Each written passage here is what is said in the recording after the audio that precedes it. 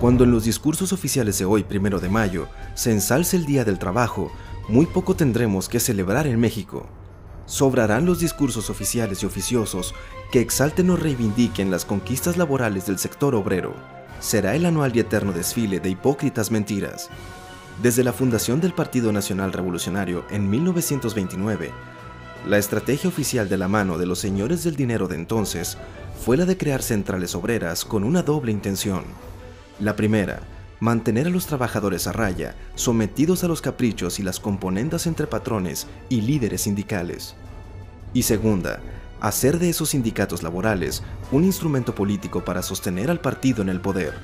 Su voto en bloque era garantía a cambio de favores sin fin para sus líderes. La hoy agonizante CTM fue el más preclaro ejemplo. Con un líder como Fidel Velázquez al frente, ese sindicato laboral se convirtió al lado de los maestros y los petroleros, en el sostén político del PRI en el poder. Y cuando la protección de aquellos gobiernos volvieron intocable a la CTM, el chantaje se volvió la moneda de cambio entre los líderes y los patrones, mientras que el trabajador vivía en el olvido, con lo mínimo. Por eso acabamos convertidos en una nación subempleada, en la que todavía hoy, en pleno siglo XXI, 6 de cada 10 trabajadores mexicanos laboran en la informalidad.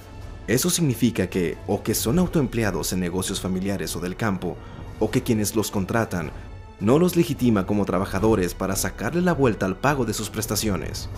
De los 54 millones de mexicanos que califican como la fuerza laboral de México, 31 millones caen en la informalidad. Para ellos, no solo no existe seguridad social, sino que su retiro en la vejez será la de la agonía de un arrimado. Y de los salarios de quienes privilegiadamente están empleados, ni qué decir, al mexicano promedio que tiene un trabajo se le pagan 8 dólares por día, mientras que al trabajador peor pagado en los Estados Unidos ganan esos mismos 8 dólares como mínimo, pero por hora. Dirán que son distintas circunstancias, pero ¿cómo justificar que un minero mexicano reciba entre 5 y 10 veces menos salario que un canadiense o norteamericano si lo que ambos extraen del subsuelo son minerales que cotizan en dólares al mismo precio en los mercados mundiales? Por eso, es lamentable asomarse al último informe mundial sobre los salarios 2016-2017, elaborado por la Organización Internacional del Trabajo, porque en su página 14, que analiza el índice del salario medio real de los países emergentes del G20, desenmascara a México y lo convierte en la burla internacional. Cita textual.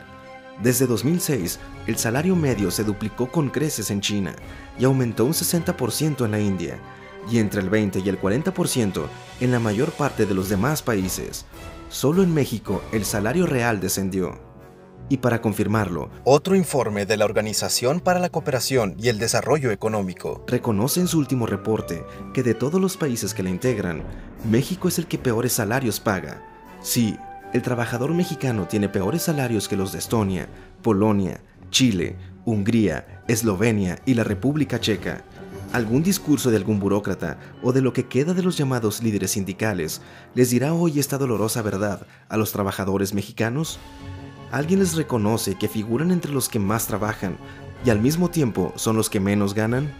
Será interesante ver cuál será el primer discurso del gobierno de la Cuarta Transformación en la celebración del Día del Trabajo. ¿Mantenemos la comedia convertida ya en tragedia o decimos, fuera máscaras?